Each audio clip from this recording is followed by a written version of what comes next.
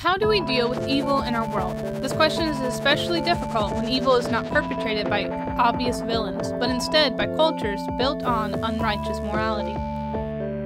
Sebastian was a young man living in the 3rd century in Rome, a culture of mobs that used the power of the state to brutally torture and execute Christians.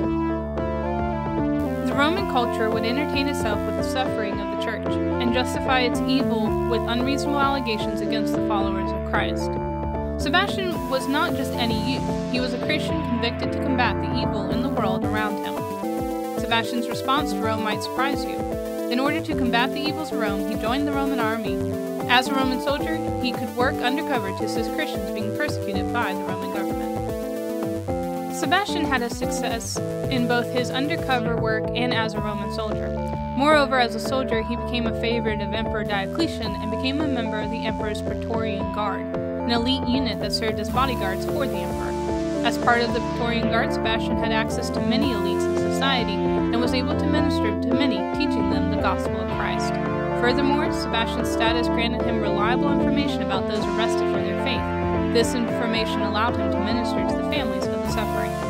For a while, Sebastian was able to minister in secret, leading many people. However, after converting a local prefect, Sebastian was reported to Emperor Diocletian in 286. With Sebastian revealed as a Christian, the emperor ordered Sebastian to be used as target practice by archers. Sebastian was tied to a stake in a practice field, and he was shot so many times by archers that his body was described as being as full of arrows as an urchin. After being used for target practice, he was left for dead. A Christian widow named Irene, also known as Saint Irene of Rome, came to retrieve Sebastian's body. Irene's husband had also been a Christian serving in the Roman military, though he had been martyred for his faith.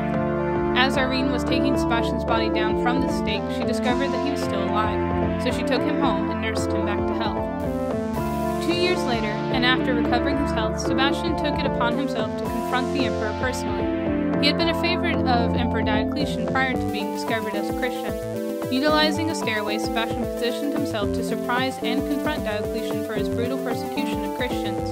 When he emerged, the emperor was shocked that Sebastian was alive.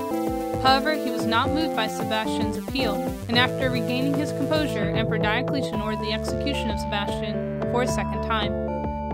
This time, clubs were used to beat Sebastian to death, and his body was thrown into a sewer. The year was 288.